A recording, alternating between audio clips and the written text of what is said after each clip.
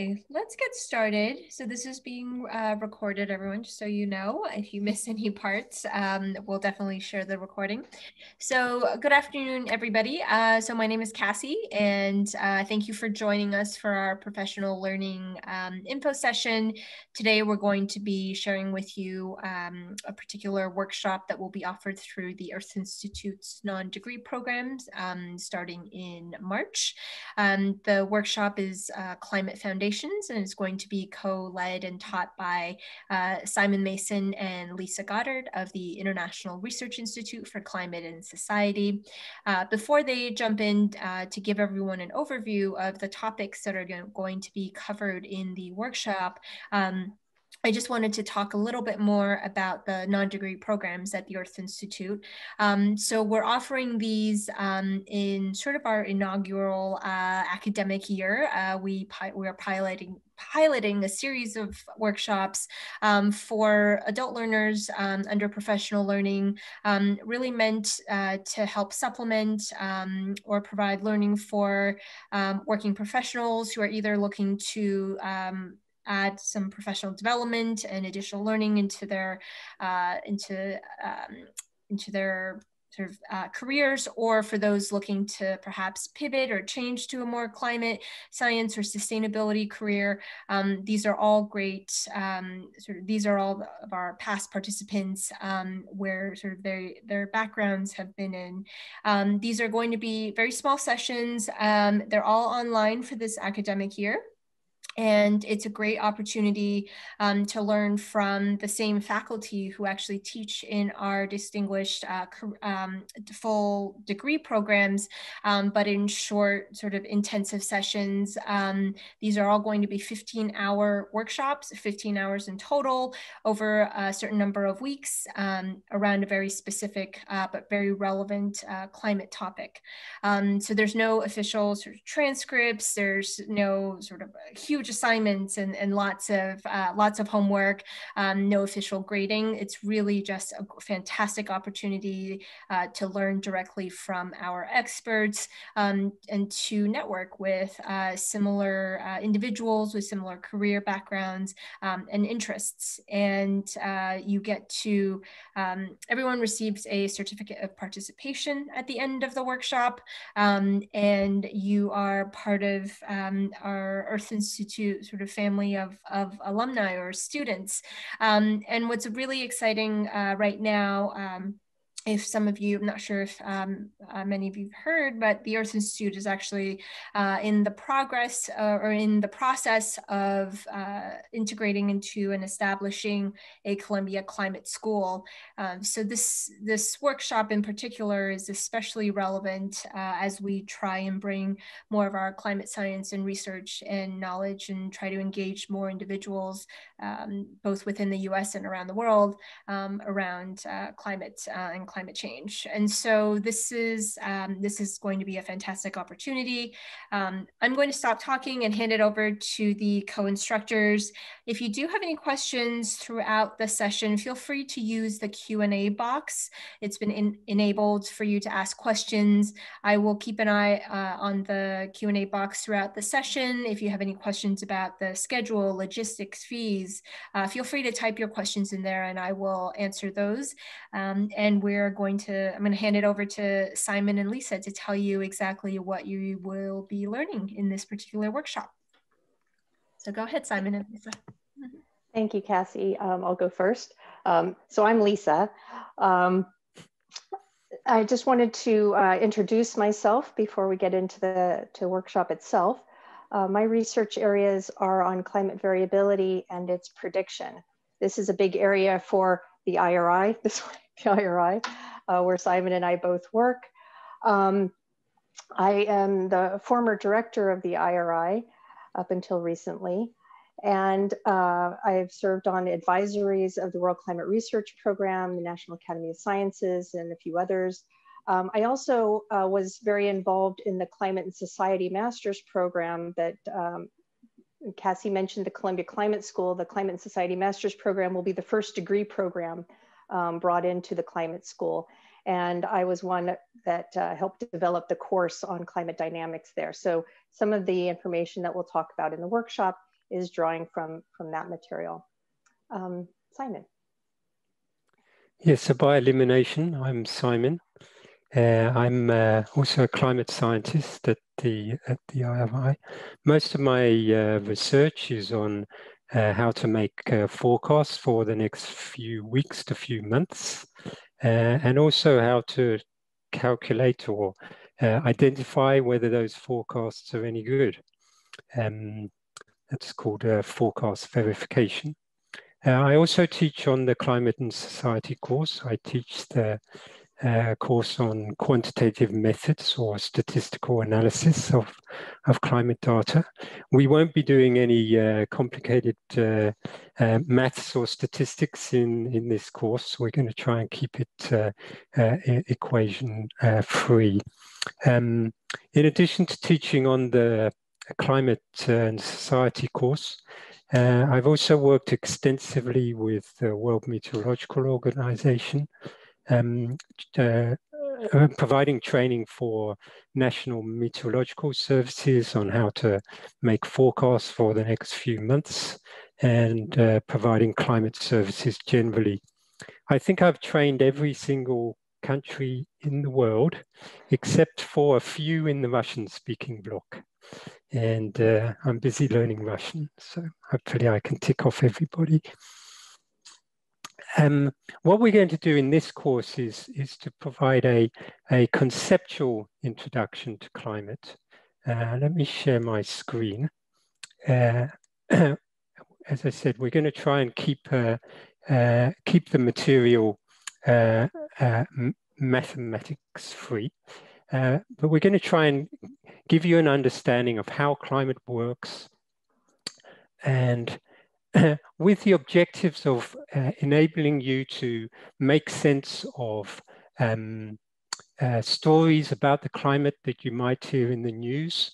So what we will do is we will collect uh, during the during the course, um, we'll uh, collect news items that appear it's a very interesting season, um, uh, March and, and April. Uh, it's moving into the hot season in South Asia when we have uh, extreme heat waves sometimes. Um, it's time of year in the US when we typically get most tornadoes, uh, etc. So what we'll try and do is we'll try and make the course topical. Uh, if there are regional interests from our participants, we will uh, we will uh, try to focus on that. Where the course is designed to be uh, to be flexible. But uh, just as a, these are uh, old examples now, but just to illustrate the kind of items that you might see in the news, um, El Nino will be um, a major theme of the course. Uh, we'll discuss uh, in quite a bit of detail what that is, how it works, how we can forecast it and why it's so important. Uh, and also, you know, why does it get blamed for um, everything from uh, garbage issues in Kenya to sporting issues in, in, in the US? There was an item in the news today uh, that's just appeared about the ozone hole. Uh, there are claims that the uh, ozone hole has now been uh, filled. The ozone hole problem has been fixed, and we'll be discussing we'll be discussing such items as well. So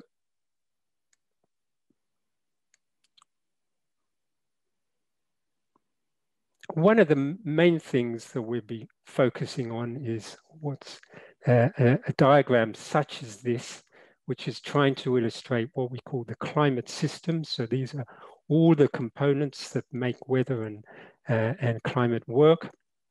uh, this is a highly simplified diagram of a, of a very complex system. And so although a lot of the topics that we'll be discussing uh, are fairly complicated uh, uh, uh, ideas, we're going to try and present them in as simple language as possible.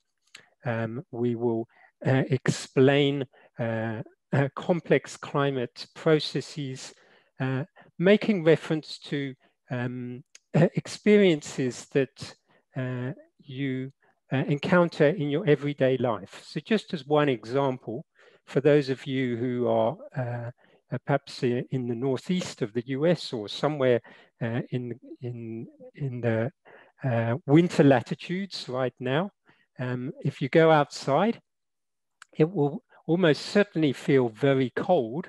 But if you're able to stand in the sunshine uh, and there's not too much wind, the sun will make you feel actually quite warm, even though the air is very cold. And the important climate principle here is that with, with very few exceptions, the sun does not heat the air. The sun heats the earth and it's the earth that heats the air. And that's what's happening to us. We're like the earth. The sun can heat us, but the sun is not heating. The important climate principle is this, the, the air is heated by the earth, not by the sun. And I'll, I'll hand over to, to Lisa, who will expand on why that is such an important climate principle. We, we will yeah, discuss this topic in more detail in session two. Yeah, thanks, Simon. So we'll we'll start out really talking about um, the Earth's mean temperature or average temperature. Um, this is really well described by the natural greenhouse effect. Um, and there are a lot of schematics out there to describe the greenhouse effect. I'm going to show you three of them here. Um, they're quite varied. Um, and they can be very confusing, even wrong sometimes. So, so here's three. This is the first one. Um, this might look familiar, like other uh, schematics of the greenhouse effect that you've seen in the past. Um, but it's also got some weird stuff going on. It looks like all the greenhouse gases are, are way in the upper part of the atmosphere. Um, this might explain why there tends to be some confusion around the issue of global warming and the ozone hole, for example. Um, if we scroll down to the next one, um, this doesn't even look like Earth really. Um, there's a sun and something going on, grass below maybe. Um, it doesn't describe any processes and it sort of suggests in the tiny text that the atmosphere is mostly composed of greenhouse gases, which is untrue. Um, and if we go down to the third one, this is uh, a little bit closer to um, really describing what's going on. Um, it's more accurate in its description, but what the heck is going on with, with all these little uh, yellow arrows to the right of that figure? Um, so we, we will unpack that. We'll cover the processes that are at work in even this most fundamental aspect of Earth's climate um, so that um, you're able to describe them accurately. Um, we'll step through, get toward the issue of climate variability. So why does the this mean climate that we have vary um, over time. And um, as Simon mentioned, the uh, El Nino La Nina phenomenon is a really important part of that. So that will be one of the modes of variability um, that we're talking about. Uh, what you're seeing in this um, map is the expectations of what happens to rainfalls during a La Nina event. And we happen to actually be in a La Nina right now. Um, so the green areas are showing you where it tends to get wetter during a La Nina and the brown areas are showing you where it tends to get drier. So um, through this particular uh, session, we will talk about um, why are we getting these impacts in these regions. Um, in the tiny text that's difficult to see um, in the presentation, uh, it's actually indicating seasons. And those seasons of impact are not the same in all of these regions. So why is that different? Uh, will help understand that as well. And the impacts from, from these other uh, modes of variability that act on different time scales and in different parts of the world. Um, we'll wrap up um, after going through the, the science description of uh, the different factors that change Earth's climate on long time scales, including humans, um, to look at the, the information that we get about the future, both climate forecasts for the, say, the next season or the next couple years, all the way out to the climate change projections. So this particular graphic that you're looking at right now, there is a lot going on in this graphic. Um, but one thing that I think is interesting, it's showing you um, on the horizontal how temperature, uh, the, the basically globally average temperature change. And on the horizontal axis, it's a measure of carbon, not time. So what we really started to see in the discussions around carbon and climate lately is that um, we're the, the conversation is getting much more focused on the total accumulated emissions of carbon, recognizing that the community uh, consensus is that 1,000 gigatons of carbon um, is what we need to stay below in order to stay below a globally averaged increase of two degrees. Uh, about 10 years ago, we're already halfway through that. And at current rates, they're suggesting that we're going to hit that 1,000 gigatons um, in about another 20, 25 years. So there's a lot going on in this uh, diagram that I haven't even um, talked about, but it's an important diagram because it's, it's very iconic. It is from the summary of policymakers of the IPCC. So these are images that are intended to, to be used, to be understood. And we wanna make sure that, that you are able to carry this information forward and make sense of it for yourself. So we'll work through not only understanding um, the, the projections and, and what's the science behind that, but even just tools of how to um, read potentially complex scientific um, imagery that can be very helpful to, to your understanding and your uh, navigating through, through your own climate experience. Um, so with that, I think we'd like to open it up for, for questions, have some time for people to um, ask us about the course or anything that we've said. Great. Thank you both. Um, so if there are any questions from our viewers, uh, again, please use the Q&A box. So if there are particular topics you are uh, wondering um, about and whether or not they'll be covered, if you have any questions about logistics, um, and yeah, I, I, think that would be that would be really great um, to, to, to hear from from our audience. I think in the meantime, um, Simon, in term, you know, you you mentioned a really fun fact about yourself, which was that you've done training basically for sort of everybody. Um, and I'm curious, um, you know, what uh, types of agencies or what groups have you worked with and done the trainings for, um, and perhaps you know how you might bring that into the into the workshop. Sure. So uh, I when I mentioned my training, I was talking specifically about training of the National Meteorological Services, so specifically the uh, government entities that are um, mandated to make uh, the weather forecasts, but are also in, in almost all cases working on uh, uh climate forecasting uh, as well. But I've also worked quite extensively with uh, um, the health community. Uh, in fact, I recently published a book on, on uh, climate and health with uh, uh epidemiologist, uh, uh, a former colleague, and I'm working currently on a um, an initiative with the Atlantic Council to try and promote the um, the establishment of heat health early warning systems. So you know, warning systems of heat waves uh, around the world.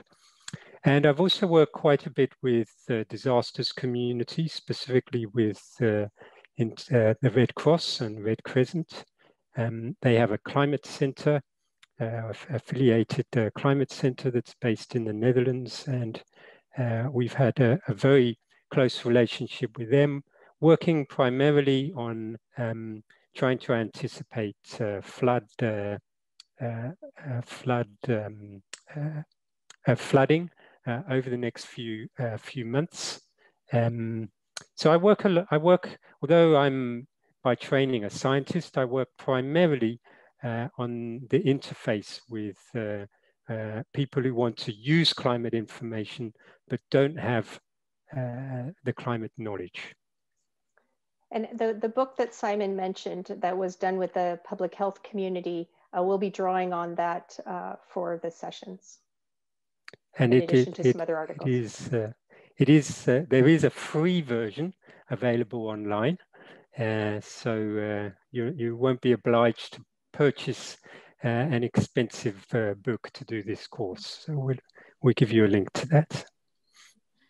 Great, thank you for that. Um, and if I mean for for either of you, um, what um, what are you what do you think uh, or who do you think is the sort of audience for this for this type of workshop? Um, you know what what is you know you talked about that you'll go over sort of the the science behind sort of the climate system um, also get into a little bit about um, how to use climate models and, and information. Um, so who do you think might benefit for, uh, the most from a, a, workshop like this? And why do you think it's sort of important that uh, individuals do understand the, the science behind our, our climate system?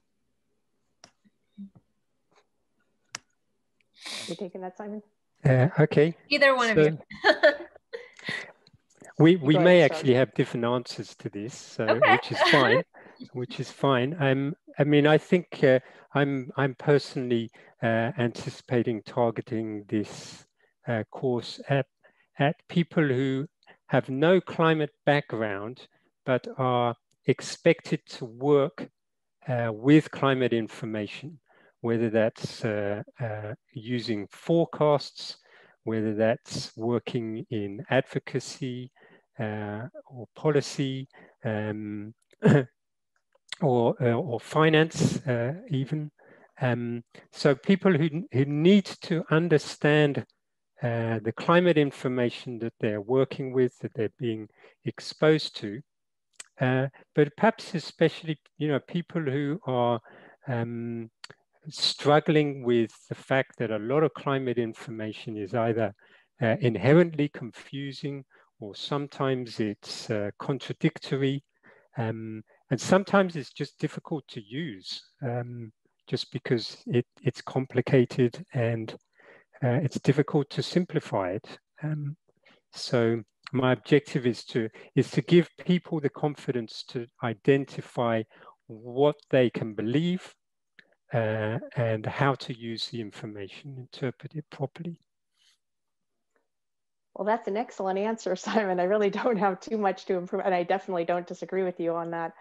Um, yeah, I guess uh, all that I would add is um, just that most of what we hear about climate um, out, outside the climate community itself, you know, say in the media and um, through many conversations, just seems extremely dire, sky is falling kind of stuff. And I don't think it needs to be that way.